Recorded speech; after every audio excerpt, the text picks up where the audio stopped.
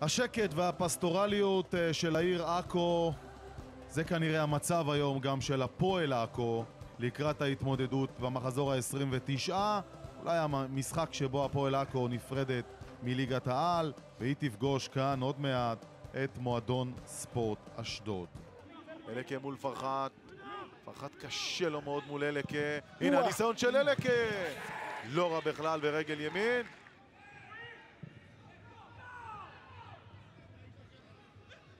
כאן זה נראה טוב. הנה כדור הבעיטה! והכדור מגלח את העמוד הימני. גם בהתקפה הקודמת שלו, גם היה במצב כזה, והבלבול אצלו בואו נראה. עכשיו את קורדרו! וואו, זה היה מצב טוב.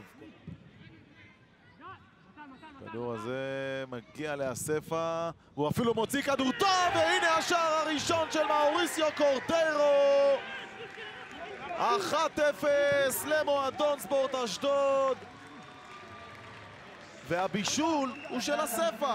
ואם יש שחקן שמגיע לו להבקיע שער במשחק הזה, זה קורדרו. עד כאן זה נראה יפה, קורדרו לטומונד, עובר יפה טומונד, ואיכשהו הכדור מגיע.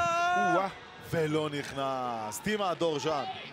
לא בטוח שג'רפי רואה משהו, הכדור עובר את החומה. והצלה ענקית של ג'רפי!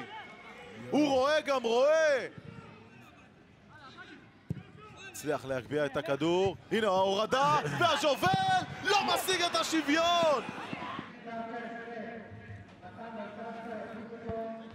עכו לוחצת, קניקובסקי לא מצליח לעשות הרבה, רייכרד בועט, למשקוף! הנה הגבהה, והכדור ברשת! איזה טיפשות, איזה... אשדוד סופגת מהראש של סירש נסאר! אלוהים, כמה נאיביות, כמה טיפשות. בדקה ה-93! הנה, צהוב לקורדרו אחרי המשחק, וזה אדום. כי יש לו צהוב. וואי, וואי, וואי, יש לו וואי. צהוב, כן, עכשיו הוא נזכר, כן. הנה האדום.